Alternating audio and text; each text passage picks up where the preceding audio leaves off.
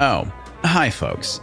Well, it's that time of week again where we go and Don't ask questions. Just consume product and then get excited for next products. also known as the Book of Blah Blah Blah. And oh my god, are you in for a treat this week?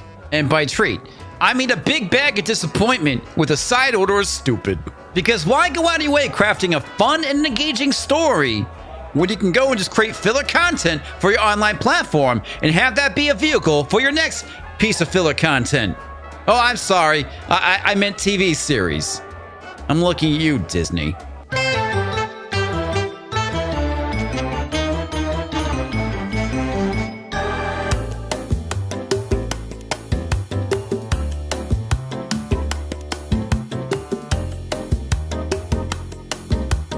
Star Wars, I fucking God, it's shit. Oh, So far, we're three episodes deep, and we still don't even know what the basic plot is. No, that duty is reserved for episode four.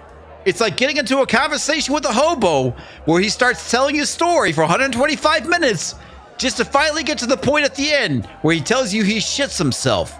That's basically the series because 125 minutes is the sum total of the first three episodes. Anyway, this episode opens up with a watermonger named Lortha Peel showing up and telling Blah Blah Fett that nobody respects him, much like the audience. I swear, sometimes I think this show has its own commentary talking about how bad Blah Blah Fett is at being Boba Fett because he's not. Anyway, the Watermonger's complaining about a group of young ruffians that goes and modifies themselves with droid parts, and they go and run amok through the streets of Mos Espa stealing his water. And that's when we're introduced to the youth of today, Hover Scooter Squad, also known as the Boba Rangers, because they look like the fucking Mighty Morphin Power Rangers. Oh, and, and they're called the mods. Now, if you're not familiar with the mod subculture and you have no idea what I'm talking about, consider yourself lucky. The mods are typically a bunch of dudes who dress like they're from the 50s, and wait for it, they ride around on Vespas. And they're equally just as annoying as the youth of today Hover Scooter Squad. But I'm sure they're called mods because they modify themselves with droid parts. No, I'm sure it has nothing to do with the fucking Hover Vespas. On second thought, this probably is written by Jon Favreau. After all, he is old enough to know who the mods are. So Blah Blah Fett goes and confronts the youth of today, Hover Scooter Squad, and he goes and talks to them. And he, he asks them, "Why why are you stealing the water from the watermonger? And the reply is, well, he charges too much. And Blah Blah Fett's like, well, okay, that makes sense. Well, I guess I have no choice but to hire you then. You know, for reasons. Which which makes the watermonger rather unhappy. Oh, and to top it all off, Boba Fett demands that he lower his prices. I guess supply and demand isn't a thing in the Star Wars universe. And then we get another episode of Dreams from a Bacta Tank, where we go and find out that the Tusken Raiders that Blah Blah Fett went and lived with for a couple of years was murdered by the Speeder Bike Gang, with possibly the exception of strong female Tusken Raider warrior, because this is Disney after all. And it's only acceptable to go and kill off a bunch of males, because apparently, with the females, all the boob armor has been replaced with plot and agenda armor. And Dreams of a Bacta Tank abruptly ends as Fett is being dragged out of his Bacta Tank by the Wookiee Black Dandelion. So I bet you're asking yourself, how did this big black Wookiee manage to slip past everybody? Well, I guess he must be a ninja or something. Because literally nobody noticed him walking into the palace. Where's the guards, you ask? Don't know. And we're treated to another sanitized fight scene where there's absolutely no blood. And ne- never mind the fact that the Wookiee gets stabbed several times. And remember all those guards that the Wookiee snuck past? They all went to go and check out Blah Blah at the same time. I guess somebody must have rang the dinner bell or something. Or maybe they all collectively woke up from their nap. Oh, and you're gonna love this one, folks. Nobody dies or gets injured. Ne- never mind the fact that in episode 4, the Wookiee goes and rips somebody's arm off, also with no blood. But nobody gets a nobody gets a scratch. Fuck you, Disney.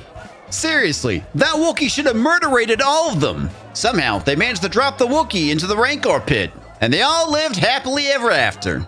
Then the Hutt twins show up, and they're like, Oh yeah, sorry, um, sorry about that. We, we didn't mean to send Black Carnation Instant Breakfast after you. Uh, it's all it's all a big misunderstanding. Oh, by the way, the mayor promised Jabba's territory to another syndicate, most likely the Pike Syndicate. So, to make bygones be bygones, here's a new Rancor monster for your empty Rancor pit. Oh, and by the way, it's depressed. And then they're like, fuck it, we're out of here. Oh, and get this. Blah Blah Fett decides to go and release Black Carnation Breakfast because, well, he's no longer a threat. N never mind the fact that he just tried to kill him previously in the other scene. Nope, all good. He can go now.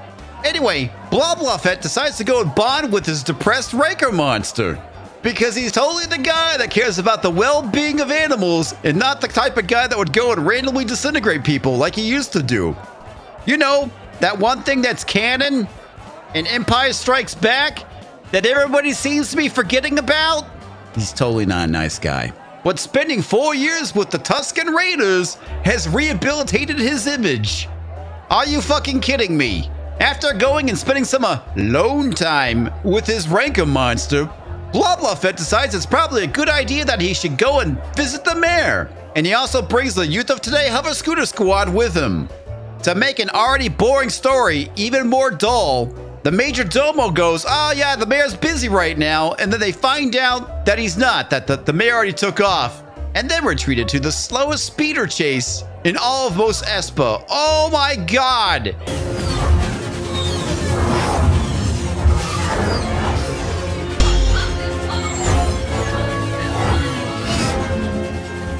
This scene is terrible. It's like watching the equivalent of a cinematic abortion. It looks so bad and it's filled with so many chase tropes. Come on!